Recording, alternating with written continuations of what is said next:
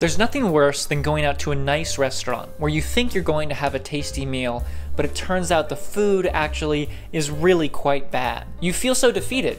You read the reviews on Google or Yelp, the restaurant had like four and a half stars. You would have so much rather have just stayed home and thrown together something that was cheaper and easier and probably would have tasted better than whatever food you got at said restaurant. Well, in this video, I'm going to show you the methods that I use in order to drastically increase the odds that the restaurants I've chosen to eat at are going to be good and that they are going to be worth my time and my money. The first thing you need to do when you're looking for a restaurant online is that reviews, particularly out of five stars, are not gospel and should always be taken with a grain of salt.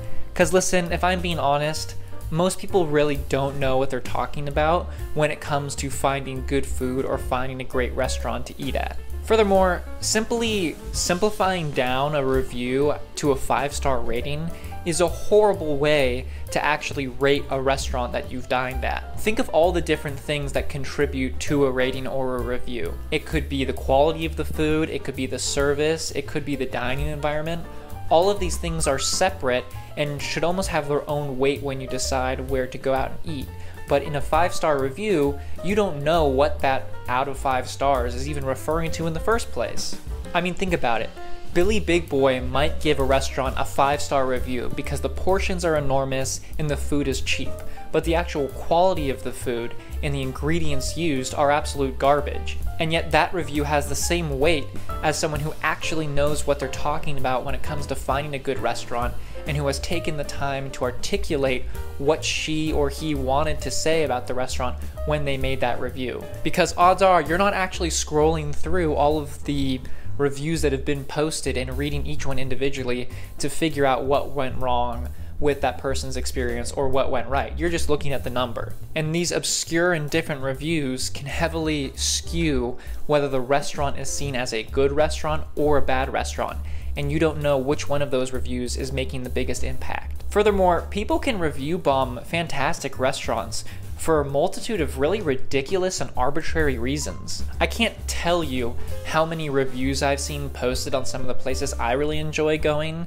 from people who are complaining about the restaurant not being able to supply them with food that fits into their arbitrary and extremely specific dietary options or dietary needs, I suppose. Look, I can understand the struggle these people might face when they're trying to find a place to eat, but I really don't think it's fair to give a restaurant or a mom and pop restaurant for that matter a one star review simply because they couldn't appease your raw plus vegan plus only consume the food rectally with a straw and smoothie form type of diet. I mean, you can't assume that every place you're going to buy food from can appeal to your one out of a million people requirements. I've also seen people review bomb great restaurants for very honest and reasonable mistakes that might have happened. Like this woman at one of my favorite restaurants in Seattle.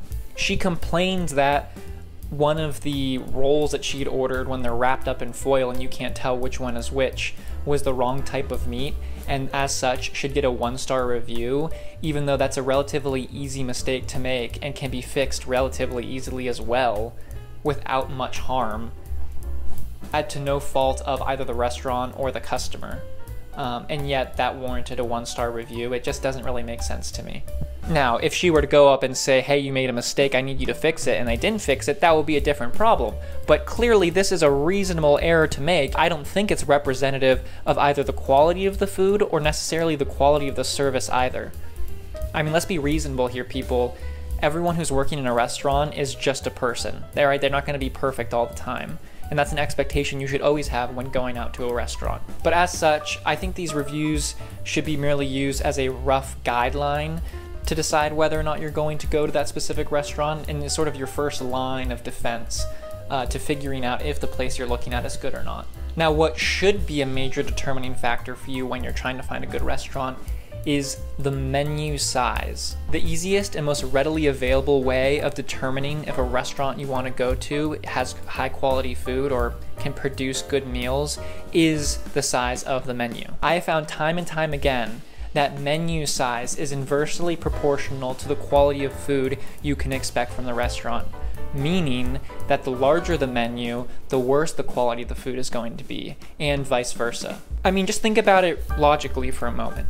If you have a restaurant with like 30 or 40 different menu items that are all like relatively different, how can you expect them to keep all of those ingredients on hand and prepare that food fresh for you when you order it when they have like 40 different options that you could potentially order from?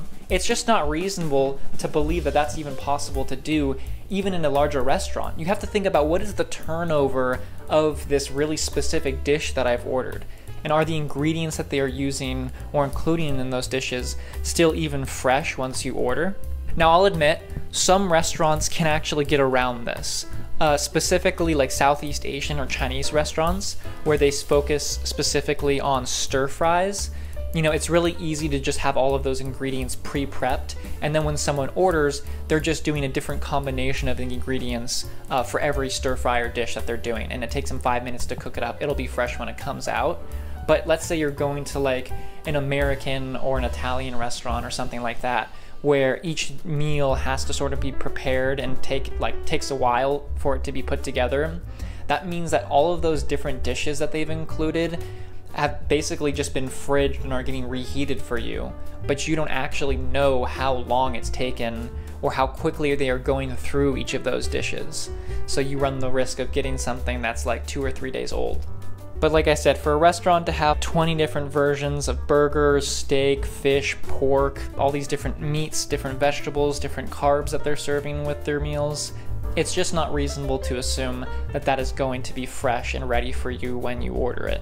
I mean, there's no possible way to have that diversity of choice without sacrificing something somewhere when it comes to preparing that dish for you. For me, I tend to find that the sweet spot for most restaurants is around 10 to 15 items total. So that means that they have between the appetizers, the entrees, and a dessert if they have any.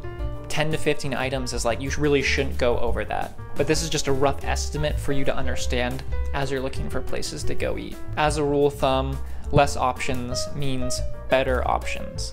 Now, the next thing you're going to need to learn how to do is how to analyze the pictures of the food that have been posted within the reviews from other people. Now, you're not actually looking at like the aesthetics of the food or necessarily how it's like plated specifically. You're looking for something a little bit more in depth. What you're looking for is how is the food prepared? What is the quality of the ingredients that are being used in the dish? How busy is the plating? Is the restaurant keeping the dish relatively simple? These are all things that should be going through your head as you're looking through the restaurant and what they have to offer. Now, it might seem weird or tricky at first, but as you gain more practice doing this, you'll learn what you need to look out for and you'll learn what's important to you as a diner of what you value the most from said restaurant. And as you sort of develop that sense, it can make a huge impact on deciding whether or not that's a restaurant you're interested in or not. There's a lot more information available to you when looking through photos of food uh, that might meet your eye. No pun intended. And the last thing you need to understand is that price does not equal food quality or rather the more expensive a restaurant you dine at or the more expensive a restaurant is, does not guarantee that the food is going to be any better than a restaurant you could find that's a hole in the wall. In fact, I can almost guarantee that the more expensive a restaurant you dine at, the more likely you are going to be disappointed with your dining experience. A lot of high-end restaurants attempt to sell you the delusion of fine dining with their insanely high price tags when in reality, the actual quality of the food and the quality of the dining experience they're selling you is mediocre at best. And once your food actually arrives at the table, you'll realize that it was thrown together with little care or little appreciation for what they were actually going to serve you, and that these high end restaurants are just a facade for moving your money into their pockets. Now, before certain cooks or chefs get angry at me, this is a very broad generalization.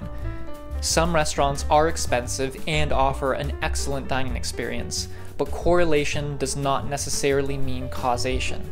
So just remember that when you're trying to impress your date maybe on a night out, that sometimes a more modest dining establishment can actually provide you a better, more satisfying experience than a very expensive restaurant. But these three tools are the strongest items in your arsenal for defending against poor dining experiences and finding really great places to go and eat. They've served me well over the years, eliminating bad restaurants and finding great ones. While, of course, it's not a perfect science and it's not guaranteed to work every time, it does drastically increase your odds of finding that diamond in the rough that you've been looking for.